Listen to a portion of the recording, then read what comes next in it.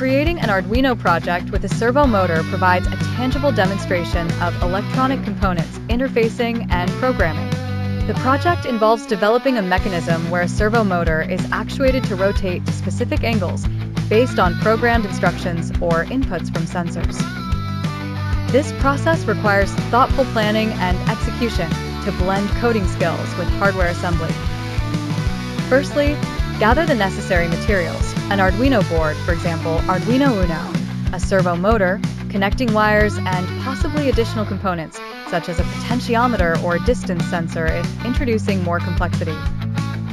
The fundamental concept revolves around controlling the servo motor's position by writing code on the Arduino Integrated Development Environment, IDE.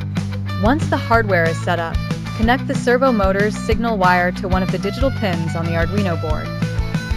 Typical projects might utilize a potentiometer to adjust the servo motor's rotation angle, or a distance sensor to control it based on proximity. The code logical structure is simple yet effective. 1. Define the servo parameters asterisk in the code's preliminary section. Import the servo library to allow interfacing with the motor. Define servo variables to store values.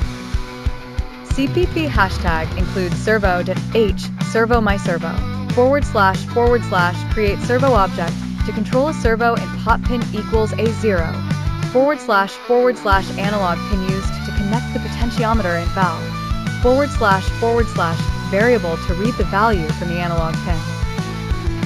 2. Setup function asterisk utilize the setup function, which runs once to initialize settings. CPP void setup my servo attach 9 forward slash forward slash attaches the servo on pin 9 to the servo object. 3. Loop function asterisk employ the loop function for continuous operation, adapting to varying inputs.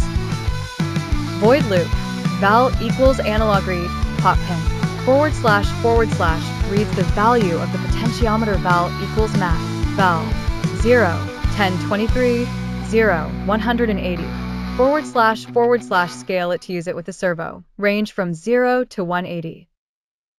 My servo de right val, forward slash forward slash sets the servo position according to the scaled value delay, 15, forward slash forward slash waits for the servo to reach the position. This rudimentary script creates commendable functionality, where by turning the potentiometer, the servo motor rotates accordingly. Beyond basics, consider experimenting with enhancements like synchronizing with additional sensors, remote controlling via Bluetooth slash